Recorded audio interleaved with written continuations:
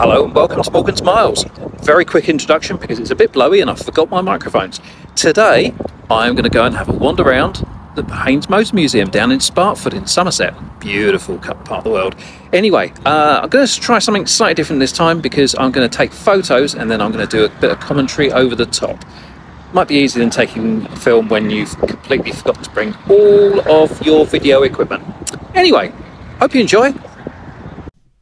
So the Haynes Motor Museum is, of course, the home of Haynes uh, manuals, and of course that was all started by John Haynes back in the day when he built this amazing little Austin 7 special and produced a little booklet to accompany the project, and that's how it all started.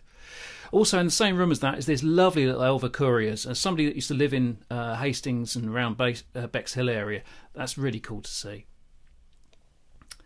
So we're on to the main room now. Uh, as you read, head down to the uh, the red room. Gorgeous array of very very old cars. I have no idea what most of these are. I believe that one's a Lanchester. It's really pretty.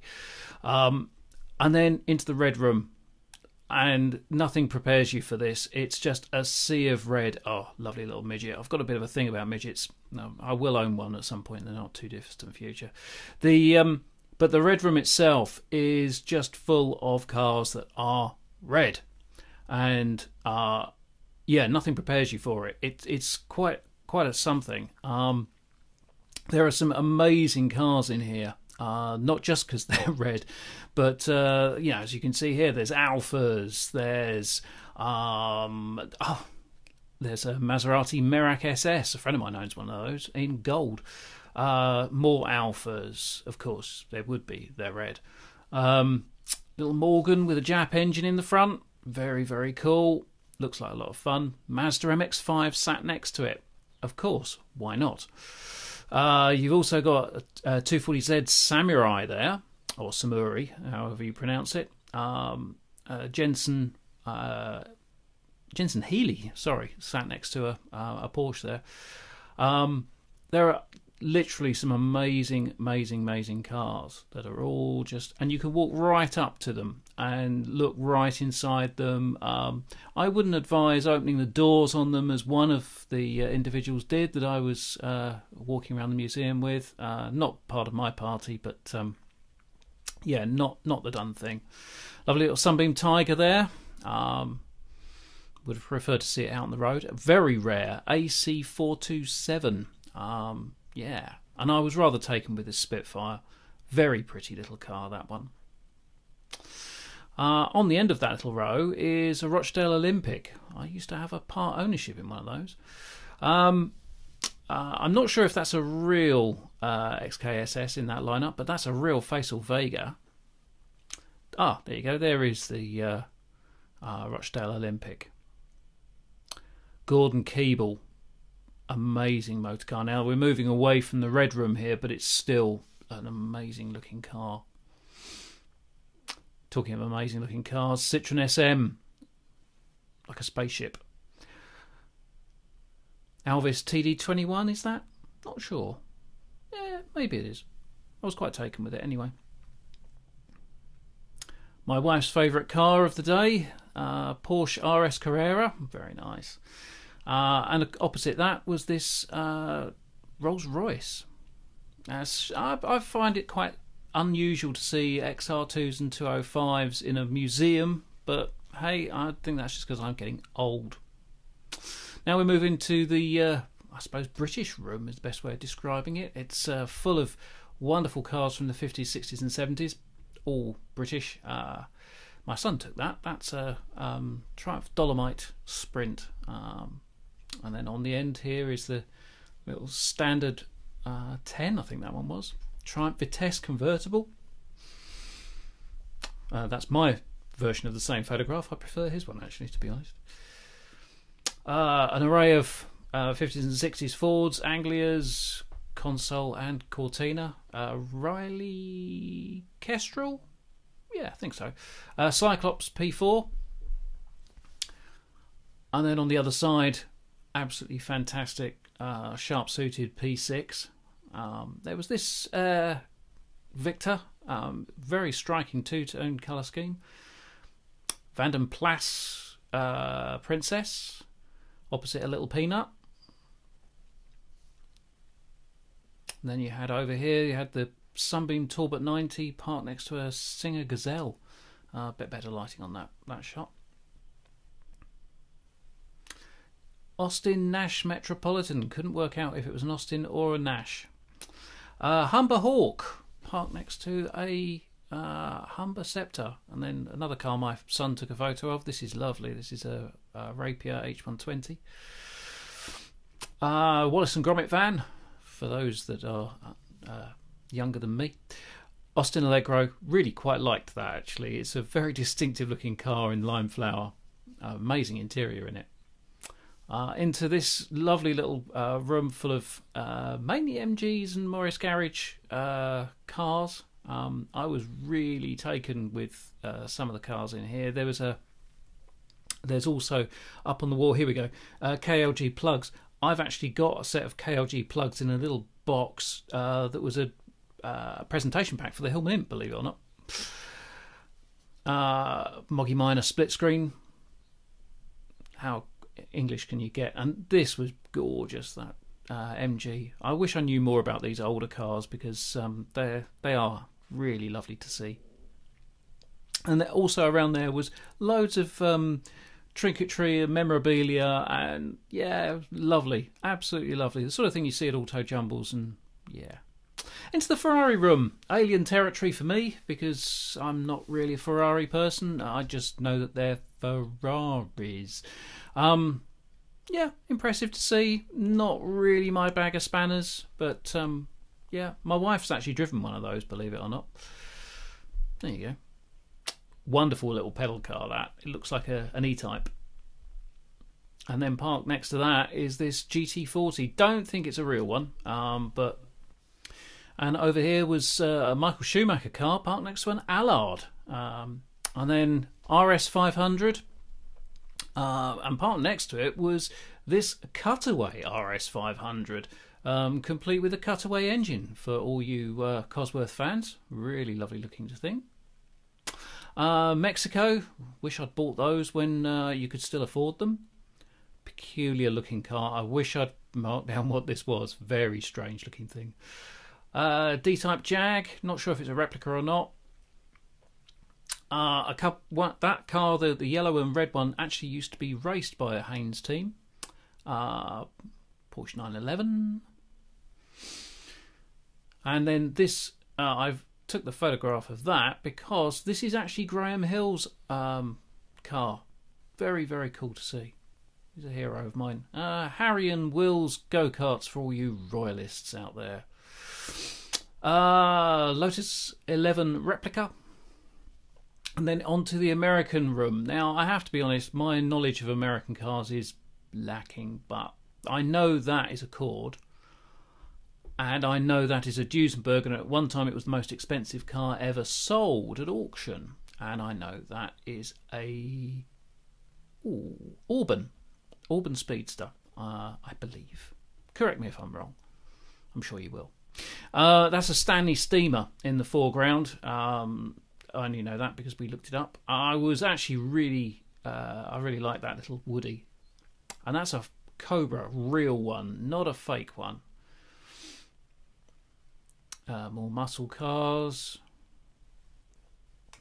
and we have here a Willys Jeep, and in the background, yeah, there's a DeLorean. I've got a thing about DeLoreans. Yeah, blame Back to the Future. Anyways, uh, so, yeah, Corvette with pearly paint, very nice. Uh, a huge fire truck thing. Um, you could have parked an imp in the back of that. Um, and a lineup of Cadillacs and other such like. Uh, I believe that's a Corvette. Correct me if I'm wrong. Uh, El Camino, uh, I believe. Um, and another caddy, a 59 caddy. And the best looking American car, in my opinion, mainly because of the Dukes of Hazzard, the Dodge Charger. I actually prefer it not in yellow, uh, orange rather, and that's the uh, the view of the American room. Now we're into motorbikes. Now again, I'm not an expert on motorbikes, but I know what I like, and uh, these were very pretty indeed. Uh, that's a Brough Superior. Uh, apparently, my great aunt used to ride a Brough Superior. Hmm, apparently so. Uh, Franny B, uh, Franny Barnett. Um, very pretty little bike, that one. Then lots of uh, golden age of motorcycling bikes in the, uh, this little upstairs room, uh, all packed away, including a, an AA bike up there. Like I say, I appreciate the engineering behind bikes. Uh, I don't ride one myself, and I don't really have any in- intention to start learning. Um, there's too many other people on the road, unfortunately. Lambretta, complete with mod bits on the front. Uh, I believe that's a bathtub Triumph. I'm actually surprising myself with what I know here. Um, I think that's a Norton. I think that's our Honda as well. Correct me if I'm wrong.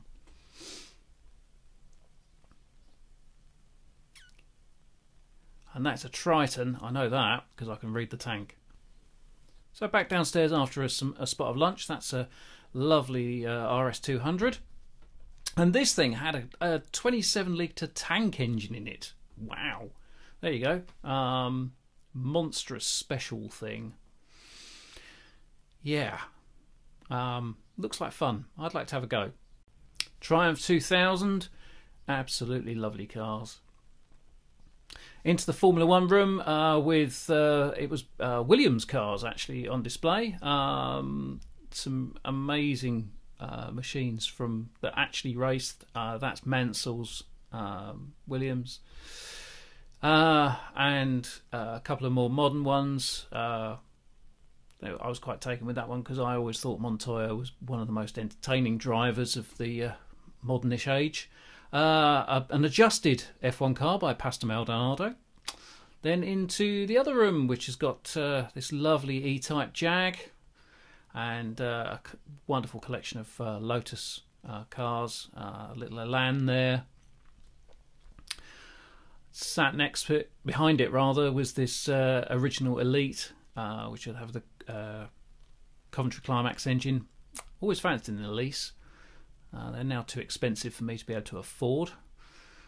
Likewise, part next to it, the uh, Europa. That's a Series Two. Um, I love the love the shape of those things uh, and a mini moke for all you prisoner fans. Uh, a collection of unusual minis there, uh, including in front of it this cutaway. Um, wonder if it's one of the ones that actually drives.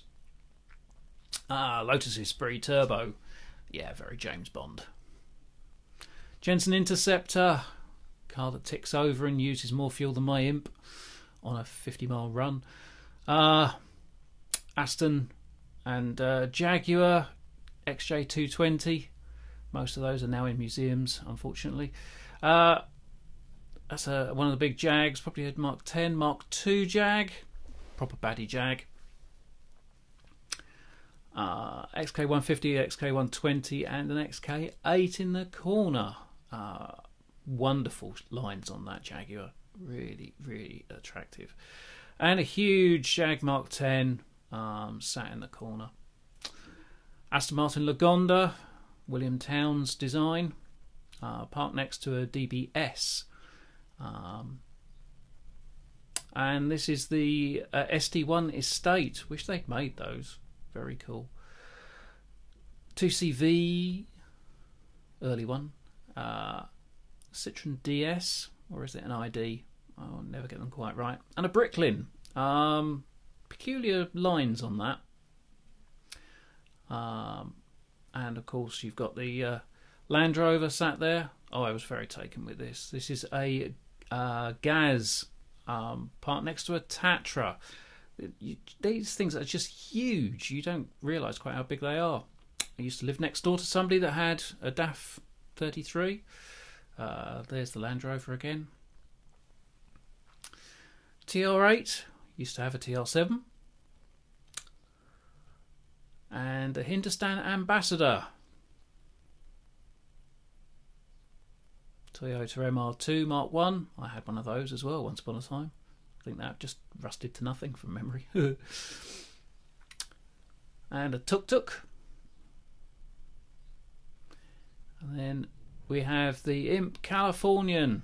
Um, very pretty little car. Would have liked to have taken that one home, uh, but no. And a cutaway Imp engine. Looks like an Imp Sport engine at first sight, and then you realise it's not. Uh, Honda S600?